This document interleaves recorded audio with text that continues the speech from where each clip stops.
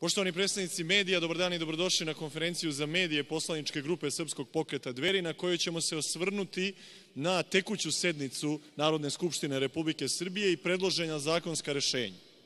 Odmah da kažem da mi u potpunosti podržavamo tendenciju modernizacije Vojske Srbije, njenog boljeg i savremenog naoružanja i bolje opreme, kao i ono što je još uvek stav Vlade Republike Srbije i predsednika Srbije, a to je da Srbija ne treba da bude član NATO-a i da ne treba da uvodi sankcije Ruskoj federaciji, kao što podržavamo ovu intenzivniju vojnu saradnju sa Rusijom i Belorusijom.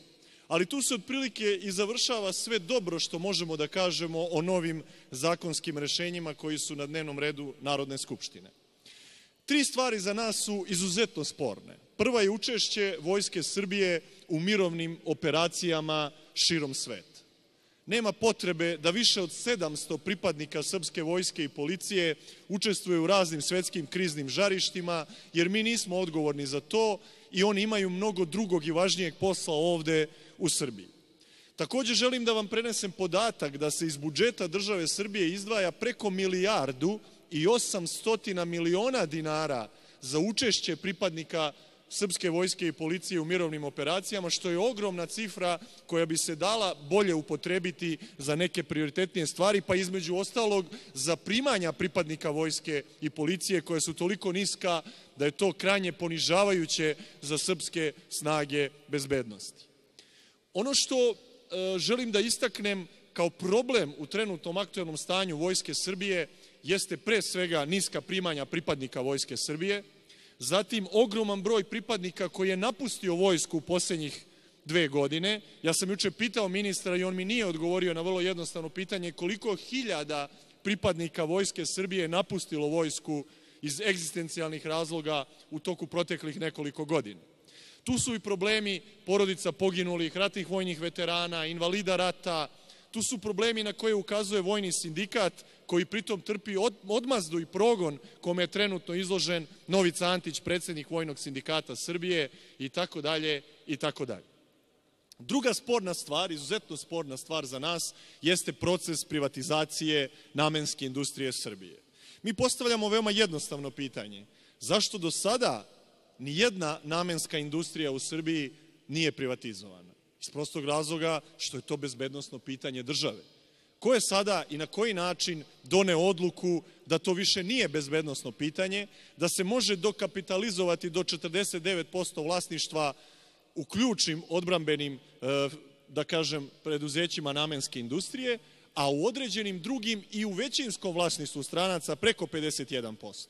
Ako su to već profitabilne grane naše privrede, ako one ostvaruju ogroman izvoz, Zašto ih mi, dakle, prodajemo, zašto delimo taj profit sa bilo kim, umesto da sav taj profit ide nama. Da nismo mi nekome obećali vlasničko strukturu, odnosno suvlasnički udeo u našim e, preduzećima iz namenske industrije. I treće pitanje, naravno, svi ste juče bili svedoci velike rasprave po tom pitanju, jeste pitanje novog zakona o bezbednostnoj informativnoj agenciji.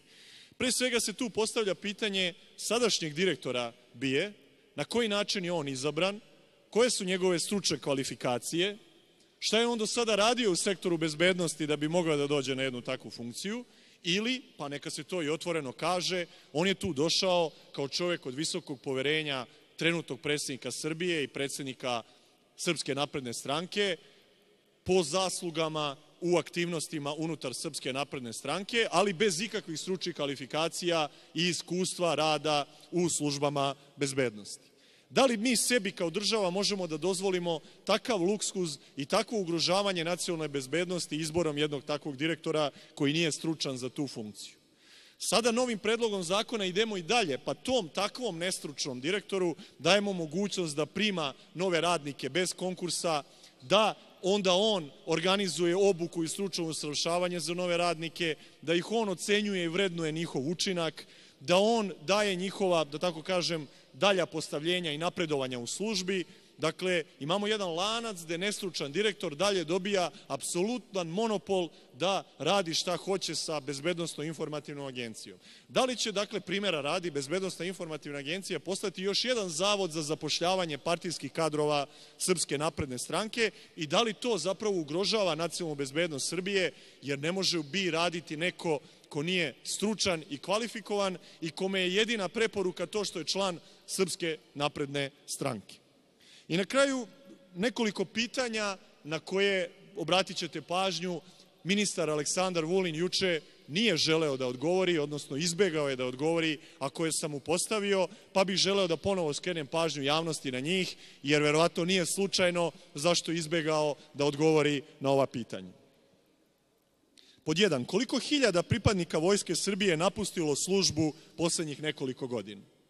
Pod dva, zašto profitabilna preduzeća iz oblasti namenske industrije stavljamo u proces privatizacije ako su do sada bila izuzeta i da li se time narušava nacionalna bezbednost? Pod tri, da li Savez organizacija rezervnih vojnih starešina treba da bude proglašen za udruženje od posebnog značaja za sistem odbrane? Pod četiri, da li treba vratiti redovno služenje vojnog roka i reaktivirati u vojnu službu penzionisane, visoko kvalifikovane, stručne i iskusne oficire Vojske Srbije? Pod četiri, kako će Vojska Srbije reagovati ako separatističke vlasti u Prištini krenu da vojno zauzimaju sever Kosova i Metohije ili ponove bilo koji drugi zločinački čin protiv srpskog naroda na teritoriji Srbije pod okupacijom? Sledeće pitanje, da li se Ministarstvo odbrane na čelu sa ministrom Vulinom interesuje za epilog sudskog procesa za špionažu iz 2002. godine, kada je majestralnom akcijom Vojne službe bezbednosti na čelu sa generalom Acom Tomićem uhapšen tadašnji potpredsednik vlade Momčilo Perišić kako odaje vojne tajne šefu CIA za Balkan Johnu Neighboru. Šta je potrebno da se posle 16 godina završi ovaj sudski proces za špionažu i da li, kao što kaže sledeće pitanje, u Ministarstvu odbrane još uvek sedište kancelarije NATO u Beogradu i šta to znači za suverenost i bezbednost naše države? I na kraju još dva pitanja. Zašto Srbija ne traži povratak do 1000 pripadnika srpskog državnog osoblja na Kosovo i Metohiju, što nam sleduje po rezoluciji 1244 Saveta bezbednosti Ujedinjenih nacija. I poslednje, vrlo interesantno pitanje koje je ministar prećutao, glasi da li neko ko nije služio vojsku može da radi u bezbednostnim strukturama i da li neko ko nema nikakve stručne kvalifikacije iz oblasti bezbednosti može da vodi bezbednostno informativnu agenciju. Poštovane kolege iz medija, pretpostavljam da ćete i sami zaključiti zašto ministar nije odgovorio baš na ovih desetak pitanja Srpskog pokreta dveri.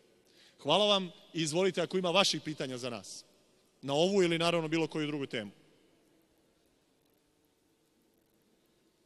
Ako ne, hvala puno svima i vidimo se ovih dana. Naravno, dozvolite mi jedan kratak komentar za kraj. Vi ste svi svedoci da je za ove dve godine ovog novog saziva Narodne skupštine Republike Srbije vlada dolazila tri puta za dve godine poslednjeg četvrtka u mesecu da odgovara na poslanička pitanja narodnih poslanika.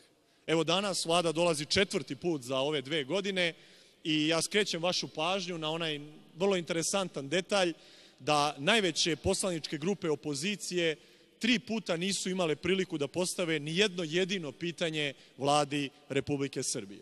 Pa evo vi kao mediji mogli bi da se zainteresujete tim pitanjem, da li će to tako biti i danas. Da li će samo privilegovani narodni poslanici, njih 7-8, od kojih su većina iz vlasti, imati priliku da ponovo po četvrti put postave pitanja vladi, a ni jedna veća grupa opozicije neće dobiti priliku iznova da postavi bilo koje pitanje vladi. I kakva su to onda pitanja i odgovori poslednje četvrtka u mesecu, kada mi evo već dve godine ne možemo da dobijemo priliku da postavimo bilo koje pitanje vladi kada ona dolazi poslednje četvrtka mesecu u parlament. Pa evo, ako vam je to interesantno, ja vas pozivam da danas ponovo pogledate kako će izgledati taj pretpostavljam, iznova režirani scenarij dolaska vlade u parlament. Inače, sticajem okolnosti, to je ovako vrlo simptomatično, sva tri dosadašnja puta lista govornika koji su postavljali pitanje vladi završila se i isteklo je vreme upravo kada je sledeći na listi govornika bio narodni poslanik iz poslaničke grupe Srpskog pokreta Dveri. Pa nas evo interesuje i da li će večera sasvim slučajno lista ponovo da stane pre nego što mi dobijemo priliku da četvrti put za redom ikada za ove dve godine postavimo pitanje Vladi Republike Srbije. Hvala vam na pažnji.